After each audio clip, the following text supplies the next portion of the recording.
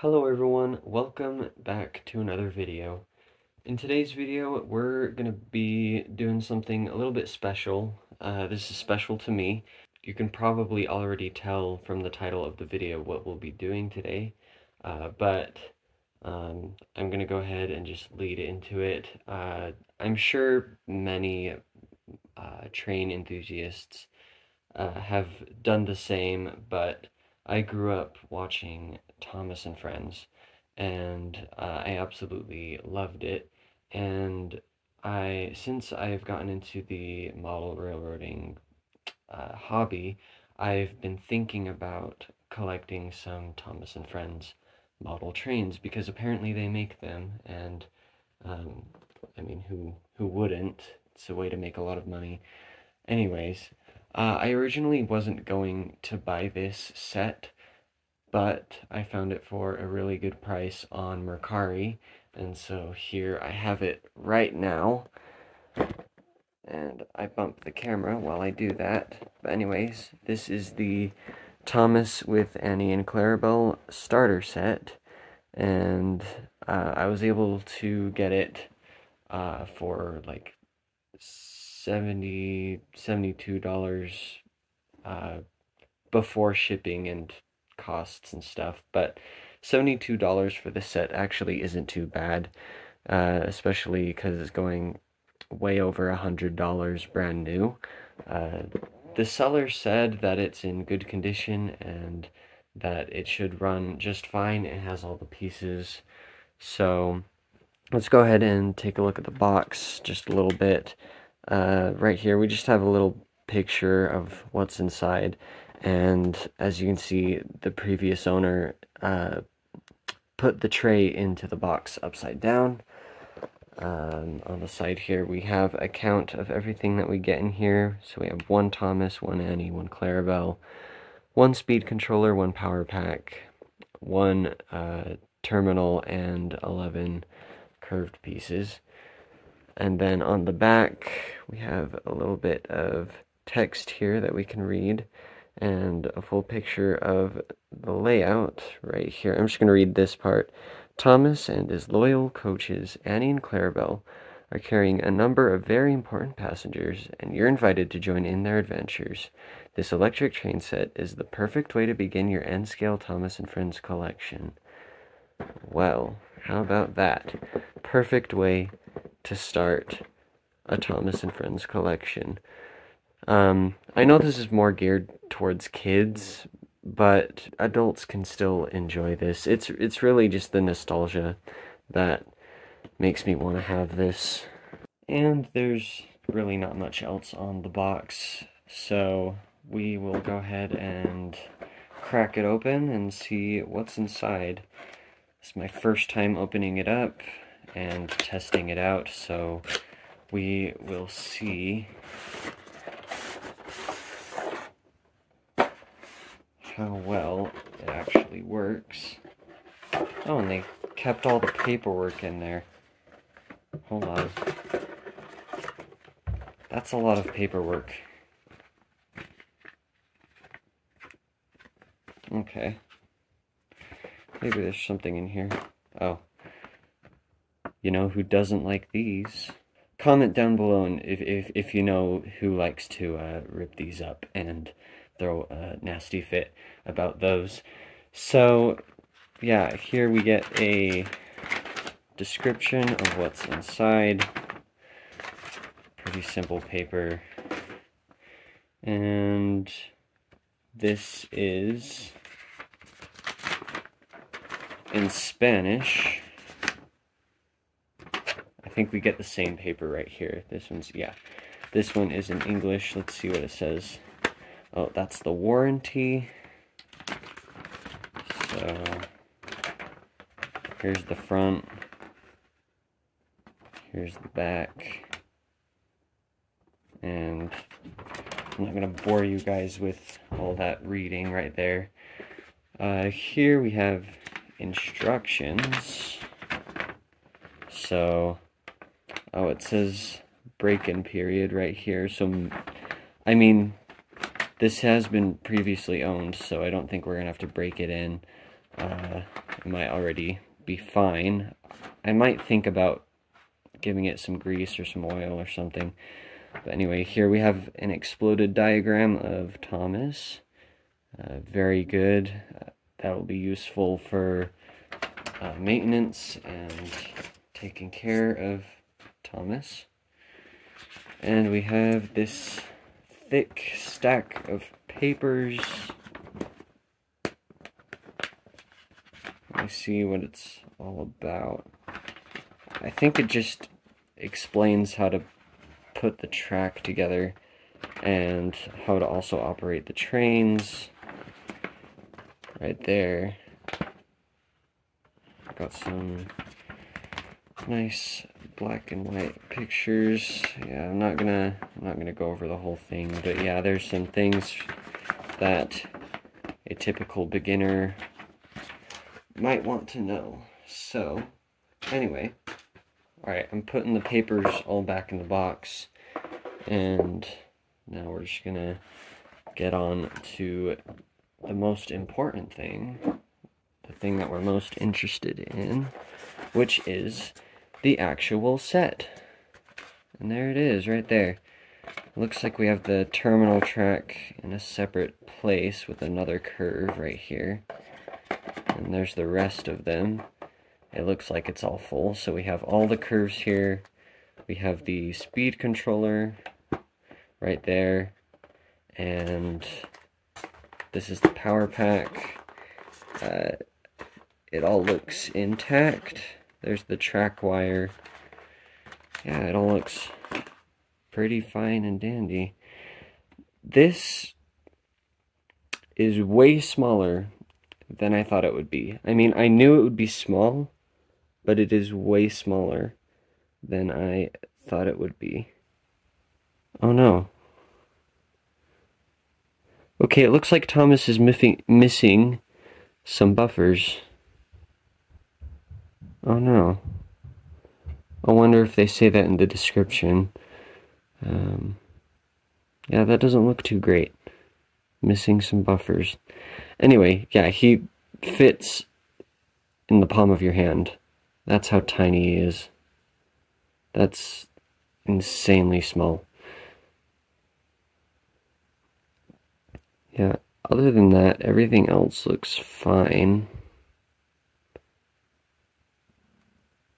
Yeah, I don't think I don't think the missing buffers are going to bother me too much, but that is a little bit disappointing. Go look at the face. Yeah, that's a pretty good Thomas face, I would say. Let's put him back. And here, this one is Annie. This is the Annie coach. There's the face. And Clarabel is just the same. It's a pretty simple little coach. And here's Clarabel. These all look pretty good for being used. Uh, Clarabel's missing a buffer. Here, how about how about this one? Oh, yeah, right there. Yeah, there's a buffer missing right there. Man, I never thought that the buffers would just fall off like that. Anyway, yeah, that's a bit disappointing, but that's okay. It's, um, I wasn't expecting much from a secondhand set. Uh, I guess we should go ahead and test and see uh, if everything is electrically working properly. Just before setting this up, I just realized that I forgot to have my mic on for that whole last shot, so uh, the audio quality is going to be a little bit different. But anyways, I should have the mic on right now. It should be working. So now we finally have the little circle set up together of Bachmann Easy Track. Bachmann Easy Track is um, such a terrible thing to put together. Um, I forgot how bad it was. But anyways, I finally got it all aligned correctly. and um, we finally have Thomas on the track and the two uh, Clarabel and Annie coaches on the track. Um, and something that I did notice is that the couplers uh, were having trouble staying at the same height, and Thomas is leaning to one side. So I'm gonna have to see if I can uh, fix that, um, make Thomas level again. Anyways, uh, let's see if he at least works electrically. So we'll go ahead and we have it all plugged in. The indicator light is on, showing that we have power to the speed controller. And let's see if we can get Thomas moving right here. And he's struggling a little bit. I might have to do some maintenance on this one. But yeah, I'll bring it up to 50% and that's about as fast as he goes at 50% speed. Um, and that leaning is really bad. Yeesh. Yeah, I'm gonna have to fix that. But yeah, it runs kind of rough. And I don't know if that's just because of the Bachmann Easy Track or if it's because of the Bachmann Easy controller or if it's because of anything from Bachmann. It could be Thomas or it could be the system or it could be both. Um, which is why we're going to go ahead and test it on my layout with the Kato track and the Tech 2s. So yeah, we'll go ahead and get that on that track right now. Here we have Thomas on the middle line of my little layout right here. And so we're going to turn on the middle controller and make sure the direction is set the right way. I think that should be forward. So let's turn up. Oh, no, that's that's forward. Yeah, come on. Alright, yeah, it's... Oh, the coupler came apart. Yeah, those are not doing well here. We'll go ahead and plug this in. Switch that. And it doesn't work. And I still need to plug this in. Okay. Yeah, now it should work. So we'll. And it came apart. Hold on. Okay. No. Hold on. What is happening? Uh, it looks like that it's just that bottom outlet that's not functioning right now. So we're gonna have to forego the electrical switching for now. Um, okay, I'm going to set this over here and we're just going to pull them over. And let's get Thomas on his way now around the layout. Come on. There we go. And we'll see, and we'll turn him up to 50% and watch him limp around.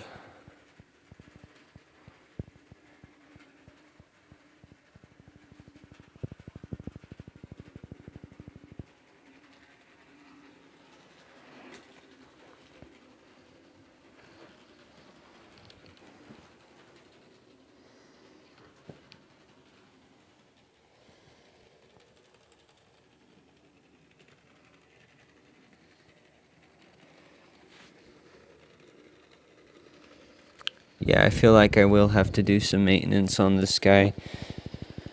I have come to the conclusion that he is running better on my layout. Um,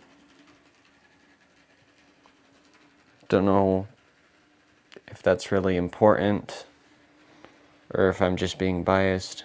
So I've already gotten ahead of myself and I started disassembling Thomas before starting the recording, but uh, that's okay because it was just um, just the wheels that I took out and something that I noticed is that all the axles have their own proper bearings, uh, which is actually very good considering that this is supposed to be a toy um, sort of thing. And uh, something that I noticed is that the bearings were actually out of place, so they weren't inserted into their slots correctly, and so I suspect that that might be the problem for Thomas being lopsided. Um, and then the gears also look bone dry, so there's virtually no lubrication there, so I'm going to have to get some oil and some grease and lubricate those uh, that gearbox so that it uh, can run a little bit better. Uh, there's also some hairs that I see around the axles and yeah I think I'm gonna go ahead and keep uh, disassembling this and see if there's anything else I need to do to Thomas before uh, we get him back on the track and running.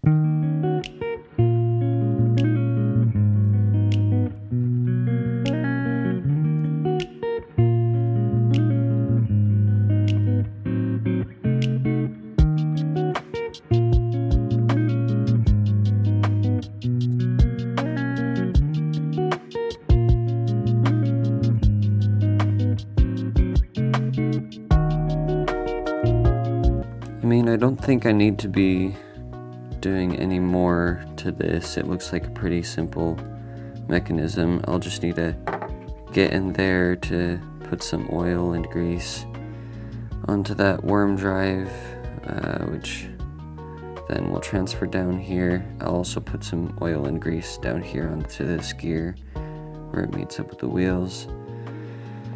And I also think these pickups should be um, rearranged a little bit. So I'll go ahead and do that and get this all taken care of.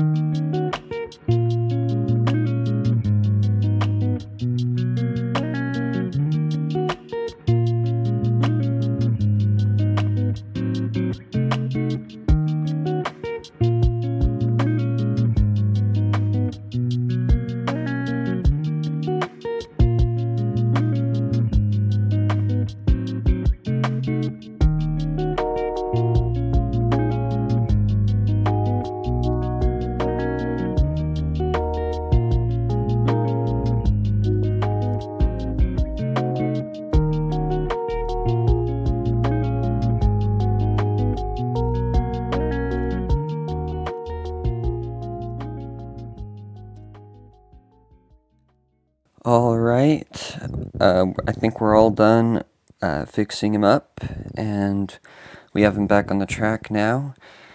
I don't know if you can tell, but he is no longer leaning to one side. He is now straight as an arrow. Um, I'm glad I was able to catch that with the bearings uh, being out of place. So I think what what all we need to do now is uh, run him in and make sure all that grease and oil uh, gets distributed through the gears and through the axles correctly so that he can run smoothly. And then after that, we'll go ahead and get Annie and Clarabel uh, hooked up behind him and uh, we'll have just a short run around the layout with him. I have the camera set down uh, looking at Thomas right now and we're going to go ahead and turn it on, see if it runs better at all just right after being. Oh, yeah. No, that's a lot better. Oh.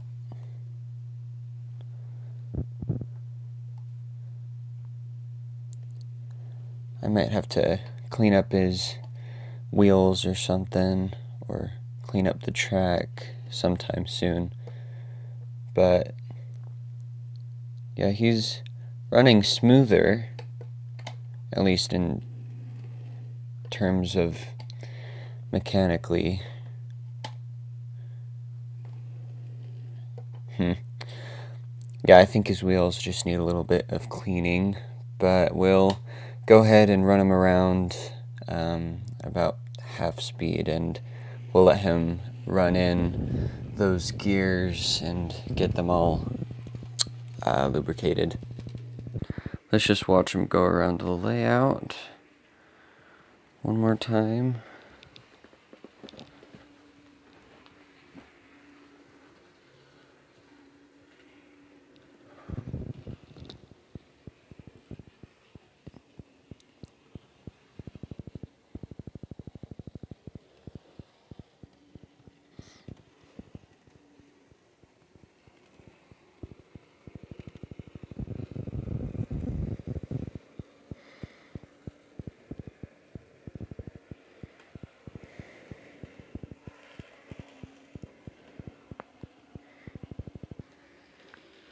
I mean, it looks like he's doing a lot better. So I think we'll just leave him here for, I don't know, maybe 15, 15 minutes in each direction. Uh, just because he's already been uh, pre-used and doesn't need that long of a run-in time. So we'll be back in about 30 minutes ish.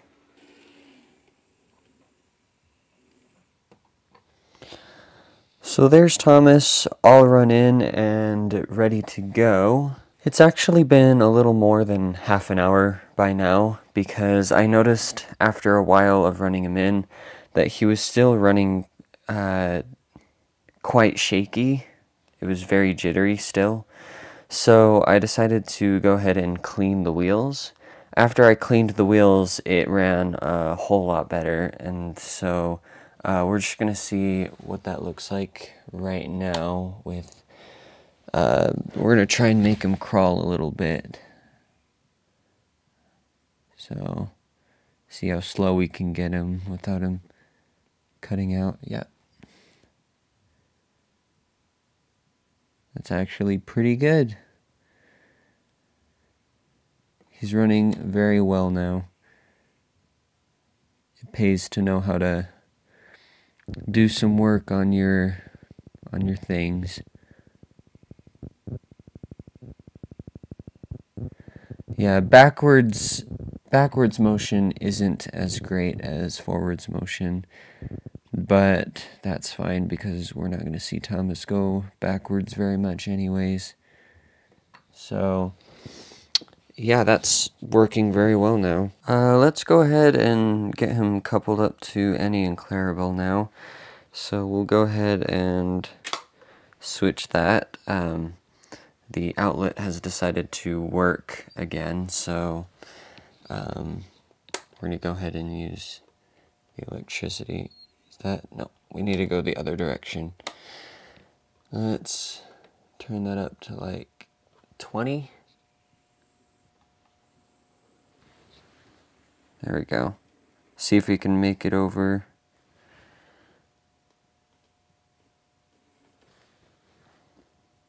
Come on. Probably should have had him going a lot faster, but that's fine. We'll have him going faster the other way. Uh, let's see, has he coupled up? Yeah, it looks like he has. I also solved the coupler problem while I was getting him fixed up, so he couples properly to his coaches now.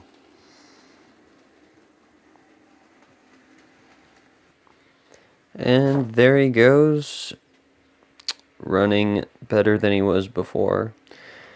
Uh, I have to keep him at a higher speed still, just because um, it's still not a very great, in very great condition. So, yeah, we just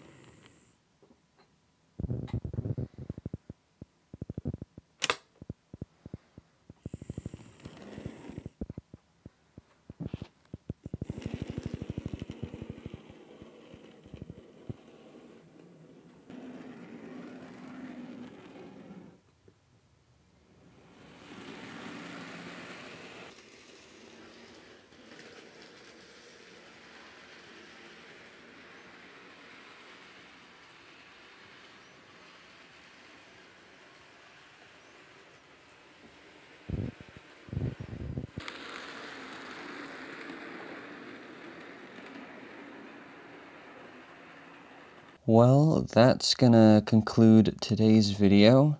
Uh, there are still some problems with Thomas that I've noticed. He's still not running as well as I would like him to. He keeps stopping at random places and uh, just doesn't want to run at low speeds at all. So I'm gonna have to figure out how to fix that.